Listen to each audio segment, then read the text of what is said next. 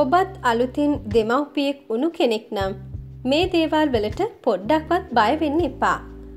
මේ වීඩියෝ එක බලන ඔබ අම්ම කෙනෙක් හරි ළඟදීම අම්ම කෙනෙක් වෙන්න ඉන්න කෙනෙක් හරිනම් මේක මුල ඉඳන් අවසන් වෙනකම්ම බලන්න. ඔයාලා හැමෝටම ගොඩක් වැදගත් වෙන දෙයක් තමයි අපි අද කියන්න බලාපොරොත්තු වෙන්නේ. අලුතෙන් අම්ම කෙනෙක් හරි තාත්ත කෙනෙක් හරි උනාට පස්සේ ඔබ කිසිම වෙලාවක දෙවරක් හිතන්නේ නැතිව කරන්න බයවෙන්න ඕනෙ නැති දේවල් ගැන තමයි මේ වීඩියෝ එකෙන් දැන් කියන්න යන්නේ. ඉතින් කවදාවත් අහල නැති මේ අපූරු දේවල් තව කෙනෙක්ට දැනගන්නත් එක්ක ෂයා කරන්න.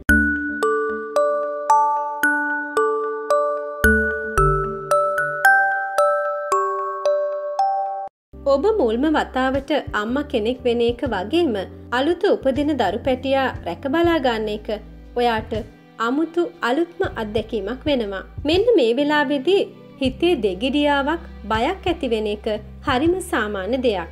අම්ම කෙනෙක් වෙන්න කලින් නම් සමහර විට ඔයාගේ හිතේ එක එක ප්‍රශ්න තියෙන්න ඇති. ඒ වනාට දරු පැටිය ආපු ගමන්ම ඒ හැමදේම අනිවාරයෙන්ම නැති වෙලායාවි. අම්ම කෙනෙක් වුණ ඔයා මාතෘත්වයේ උපරිම ප්‍රතිඵල විඳින්නම ඕනේ ඒත් දන්නේ නැතිකම නිසාම සමහර තරුණ අම්මලා වගේම තාත්තලත් අනවශ්‍ය විදිහට එක එක දේවල් වලට බය වෙනවා. කිසිම වෙලාවක ඔයාගේ දරු පැටියත් එක්ක එලියට යන්න බය වෙන්න එපා. ඔයාට වගේම ඔබේ දරුවාටත් අලුත් වාතය ලබාගන්න ඕන කරනවා. එලිමහනෙන් ලැබෙන මේ අලුත් වාතය ඔබේ දරුවාට ගොඩක් වැදගත් වෙනවා. එහෙම කියලා පුංචි දරු පැටියව හැම තැනම එක්කං යන්න එපා. දරුවාට මාස තුනක් වගේ වෙනකම් සෙනග ඉන්න තැන්වලට නොයා ඉන්න. ඒ වගේම මතක් කරන්නම ඕනෙ දෙයක් තියෙනවා.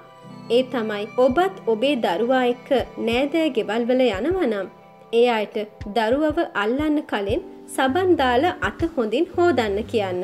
පුංචි දරුවන්ටත් ඔබේ බිලිඳාව අල්ලන්න නොදී ඉන්න එක ගොඩක් හොඳයි. පුළුවන් හැම වෙලේම අම්ම කෙනෙක් විදිහට සංසුන්ව ඉන්න උත්සාහ කරන්න.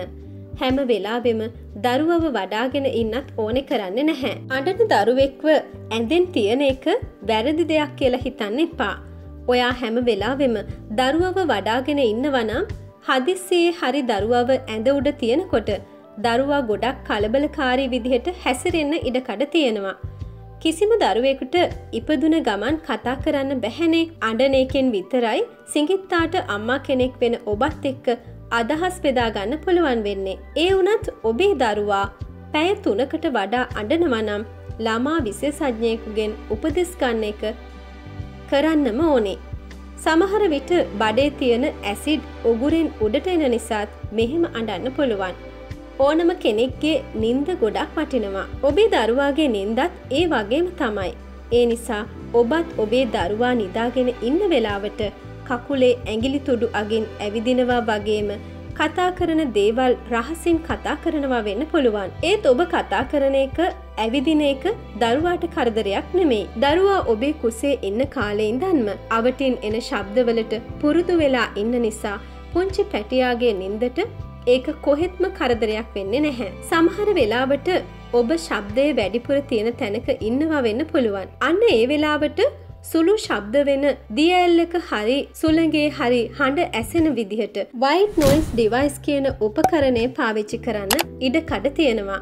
ඒක අම්ම කෙනෙක් වෙන ඔයාගේ දරු පැටියාට හොඳ නින්දක් ලබාගන්න අනිවාරයෙන්ම උදව්වේවී. අද කාලේ තරුණ අම්මලා ගොඩක් දේවල්වලට ඉක්මනින්ම කලබල වෙනවා. ඒ වනාට ඔබේ දරුවාව මුනින් අතට තියන්න පොඩ්ඩක්වත් බයවෙන්න ඕන කරන්නේ නැහැ. දරුවාට හැම දවසකම ටික වෙලාවක් මුනින් අතට ඉන්න දෙන්න.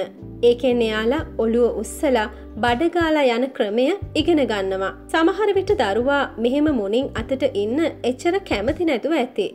ඒත් දවසට එක පාරක් හරි අඩුම තරමින් විනාඩි පහක් හරි ඒ විදිහට ඔබේ දරුවාව තියන්න. විනාඩි විස්සකට වඩා අඩු කාලයක් මෙහෙම දරු පැටියාව තියන්නත් අම්ම කෙනෙක් විදිහට ඔබ වග බලාගන්න ඕනේ. තනියම මොනින් අතට ඉන්න ඉගෙන ගන්නකම් ඔබ ඒදේ කරන්න. විශේෂයෙන්ම ඔබේ සැමියාගෙන් උදව්ගන්න.